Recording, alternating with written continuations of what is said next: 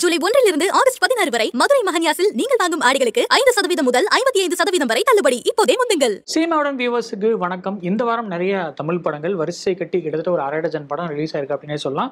அதில் முடிஞ்ச அளவு என்னென்ன ரிவ்யூ பண்ண முடியுமோ அதெல்லாமே பண்ணியிருக்கோம். அந்த வகையில் இந்த வீடியோவில் நம்ம பார்க்கறது ரிவ்யூ பேச்சு அப்படிங்கிற படம் தான். ஒரு ஹாரர் மூவியான இதில் காயத்ரி லீட் ரோல் பண்ணியிருக்காங்க. பாலசரவணன் அவரும் ஒரு லீட் ரோல் பண்ணியிருக்காரு.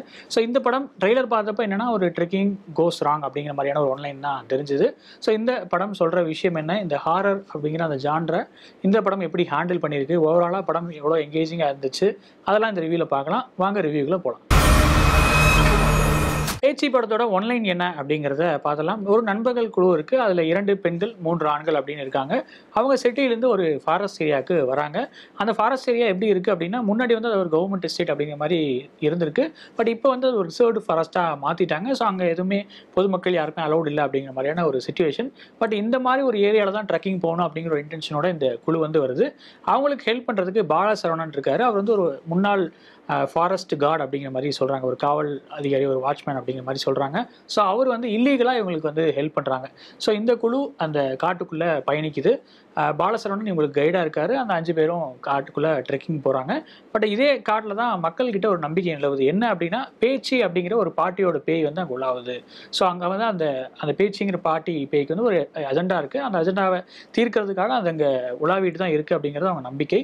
ஸோ இந்த பேச்சுங்கிற பாட்டி உண்மையாக அந்த பேச்சுங்கிற பேயினால் இவங்களுக்கு என்னெல்லாம் நடந்துச்சு இந்த சாகசத்தில் அவங்க உயிர் பழைச்சாங்களா இல்லையா அப்படிங்கிறத இந்த பேச்சு படத்தோட கதை. நடிகர்களோட பர்ஃபார்மன்ஸஸ்லாம் எப்படி இருந்துச்சு அப்படிங்கிறத பார்த்தலாம் பாலசரவணன் தான் கிட்டத்தட்ட லீட் கேரக்டர் அப்படிங்கிற மாதிரியே சொல்லலாம். படம் ஃபுல்லாக தாங்குற ஒரு கேரக்டராக வராரு. இன்ஃபேக்ட் அந்த குரூப்புக்கு மட்டும் கைடாக இல்லாமல் ஸ்க்ரீன் பிளே எப்படி நகரணும் அப்படிங்கிறதுக்கும் ஒரு கைடாக அவரோட ரோல் தான் இருக்குது அப்படின்னே சொல்லலாம்.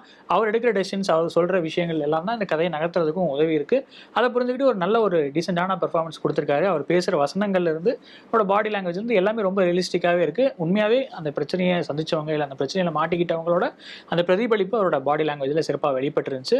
அண்ட் அதர் தன் தட் நண்பர்கள் குழுவில் நிறைய பேர் வராங்க. காயத்ரி ஜனா தேவ் பிரீத்தி நெடுமாறன் உள்ளிட்ட பலர் வந்து வந்துட்டு போகிறாங்க பட் அவங்க யாருமே பெருசாக கன்வின்சிங்கான பர்ஃபார்மன்ஸாக எதுவும் கொடுக்கல. இன்ஃபேக்ட் ஏன் அந்த அப்படி இருக்குது அப்படின்னா அவங்க கேரக்டர்ஸ் எல்லாமே அண்டர் டெவலப்டாகவே இருக்குது அதாவது அவங்க எப்படிப்பட்டவங்க அவங்களோட பேக்ரவுண்ட் என்ன அவங்களோட இன்டென்ஷன் என்ன அப்படிங்கிறதெல்லாம் பெருசாக நமக்கு விளக்கப்படவே இல்லை. டைரெக்டாக ஒரு மாதிரி கதைக்குள்ளே போயிட்ட ஒரு ஃபீல் தான். அது நல்ல விஷயம் தான் அப்படின்னாலுமே அந்த கதைக்குள்ளே போனதுக்கப்புறமாவது அவங்களோட கேரக்டர்ஸை கொஞ்சம் கேரக்டர்க்கெலாம் வச்சு டெவலப் பண்ணியிருக்கலாம் பட் அப்படி பண்ணலை அப்படிங்கிறது அவங்களோட பெர்ஃபார்மன்ஸ்லேயும் பிரதிபலிச்சிருக்கு அப்படின்னு நினைக்கிறேன். காயத்ரியோட கேரக்டருக்கு மட்டும் ஒரு சின்ன டேர்ன் கொடுத்து ஒரு ட்விஸ்ட் கொடுத்து சில இது ட்ரை பண்ணியிருக்காங்க. பட் அதுவுமே பர்ஃபார்மன்ஸ் வைஸ் கிளிக் பண்ண வைக்கல அப்படிங்கிறது சோகமான விஷயம். பேச்சு படத்தோட பாசிட்டிவ்ஸ் என்ன அப்படிங்கிறத பார்த்தலாம். டைரக்டர் ராமச்சந்திரன் அந்த ஸ்டேயிங் ட்ரூ டு ஜான்ரா அப்படிங்கிற ஒரு விஷயம் சொல்லுவாங்க இல்லையா? அதை இந்த படத்தில் ட்ரை பண்ணியிருக்காரு. ஹாரர் அப்படிங்கிறத மட்டும் மைண்டில் வச்சுட்டு தேவையில்லாத காமெடிஸ் இல்லை அடல்ட் காமெடிஸ் அந்த மாதிரியான விஷயங்கள்லாம் தவிர்த்துட்டு இந்த கதைக்கு என்ன தேவை? அதுக்கு நம்ம அந்த ஹாரர் மூலமாகவே பில்டப் பண்ணலாம் அப்படிங்கிற மாதிரி ஒரு ஒரு ஹானஸ்டான அட்டம் ட்ரை பண்ணியிருக்காரு. அதுக்காகவே நிச்சயமாக பாராட்டுகள்.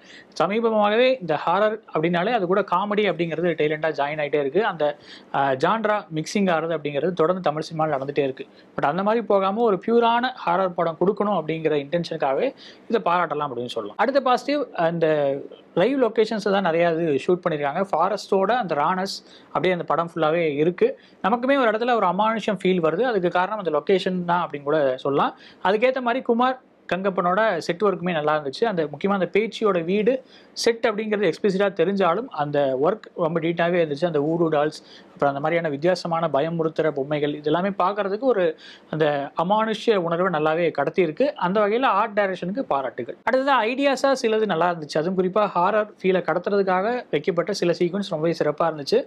அதாவது ஒரு மல்டிபிள் வெர்ஷன்ஸ் வரும். ஒரே கேரக்டர் நிறைய இடத்துல தோன்ற மாதிரி சில விஷயங்கள் பண்ணியிருந்தாங்க. அந்த ப்ளே நல்லா இருந்துச்சு. யார் ரியல் யார் கோஸ்ட் அப்படிங்கிற அந்த கேம் ஓரளவு இன்ட்ரெஸ்டிங்காக இருந்துச்சு. பட் அது கொஞ்சம் ரிப்பீட்டேட்டிவ் ஆகிட்டது தான் பிரச்சனை.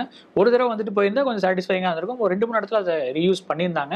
அதர் வந்துட்டு அந்த ஐடியாவாக அது நல்லா இருந்துச்சு அப்படின்னு சொல்லலாம். அண்ட் அந்த மாதிரியான ஹாரர் சீக்வன்ஸில் டிஓபி பார்த்திபனோட ஒர்க் ரொம்பவே சிறப்பாக இருந்துச்சு. அவருக்குமே நிச்சயமாக பாராட்டுகள். அதுக்கேற்ற மாதிரி அந்த ஒர்க்கை காம்ப்ளிமெண்ட் பண்ணுற மாதிரி ராஜேஷ் முருகேஷனோட பேக்ரவுண்ட் ஸ்கோருமே கிளிக் ஆயிருந்துச்சு.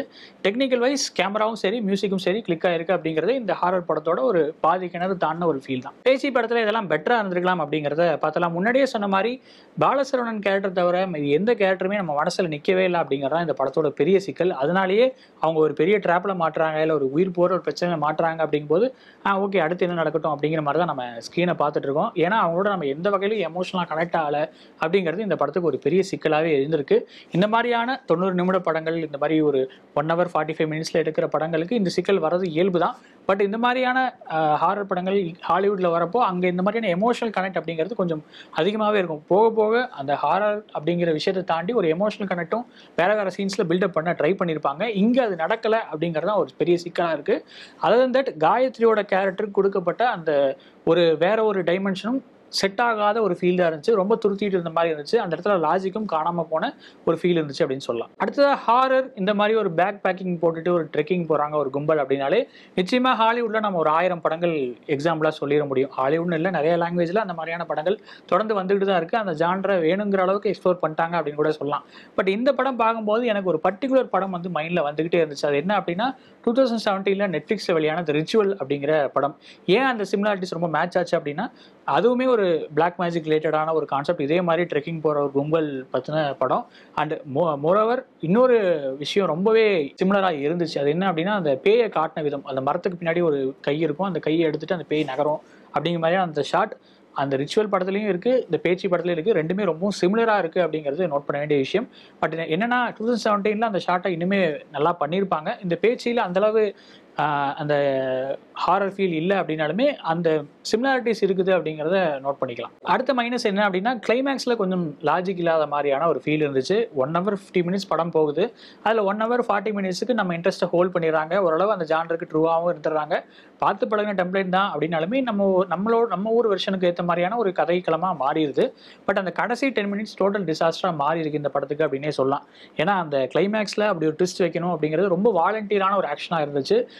யாருமே சொல்லாத ஒரு முடிவை சொல்லணும். இது யூஸ்வலான முடிவாக இந்த படத்துக்கு இருந்துடக்கூடாது அப்படிங்கிறக்காக அந்த ட்விஸ்ட்டை திணிச்ச மாதிரி தான் இருந்துச்சு. அப்படி வைக்கிறதுனால என்ன சிக்கலாக இருக்குது அப்படின்னா ஒரு பெரிய லாஜிக் லூப் போலுமே எக்ஸ்போஸ் ஆயிருக்கு அப்படின்னு சொல்லலாம். அதுவும் என்னென்னா பாலசரவணன் கேரக்டருக்கு இந்த ஒரு கோர் கேரக்டர் பற்றின இன்ஃபர்மேஷன் எதுவுமே தெரியாதா? ஒரே ஊரில் இருக்காங்க. அவங்க எல்லாருமே அந்த மலைவாழ் மக்கள் மாதிரி தான் காட்டுறாங்க. ஒரு க்ளோஸ்லி நிட்டட் கம்யூனிட்டியாக தான் இருப்பாங்க. பட் அவங்களுக்கு பாலசரவணனுக்கு அந்த கேரக்டர் பற்றி தெரியவே தெரியாதா? அப்படிங்கிறது ஒரு பெரிய கேள்விக்குறியாக மாறி இருக்கு. அது இந்த படத்துக்கு ஒரு பெரிய லாஜிக் லூப் ஹோலாகவும் வந்து விழுந்திருக்கு அப்படின்னு சொல்லுவாங்க அடுத்ததாக படத்தில் இந்த முக்கியமான கோர் பிளாட்ஸ் இருக்கும் இல்லையா? ஒரு கோர் ஐடியாஸ் இருக்கும். அதெல்லாமே கொஞ்சம் ப்ரெடிக்டபிளாக இருந்த மாதிரி தான் ஒரு ஃபீல் இருக்குது அதுவும் குறிப்பாக ஒரு தாயத்தை வச்சு ஒரு ஒரு ப்ளே பண்ணியிருப்பாங்க. அது ஆரம்பத்தில் சுவாரஸ்யமாக தான் இருந்துச்சு. பட் போக போக கிளைமேக்ஸில் என்ன நடக்கும் அப்படிங்கிறது நமக்கு முன்னாடியே கெஸ் பண்ணுற மாதிரி தான் இருந்துச்சு. ரொம்ப ப்ரெடிக்டபிளாக இருந்துச்சு அப்படின்னு கூட சொல்லலாம். இப்படி தான் நடக்கும் இப்படி தான் அது போய் முடியும் அப்படிங்கிறது நம்மளை ஈஸியாக கணிச்சிடுறோம். அதே மாதிரி தான் எக்ஸாக்டாக அது ஸ்க்ரீனில் ப்ளே அவுட் ஆகுது. அது இந்த படத்துக்கு ஒரு பெரிய மைனஸாகவும் மாறி இருக்கு. பேச்சி படத்தோட ஓவரால் வேர்டிக்ட் என்ன அப்படிங்கிறத பார்த்தலாம் ஹாரரில் நிச்சயமாக ஒரு நல்ல அட்டம் தான். ஹாரர் அப்படிங்கிற ஜான்ருக்கு ட்ரூவாக இருந்திருக்காங்க.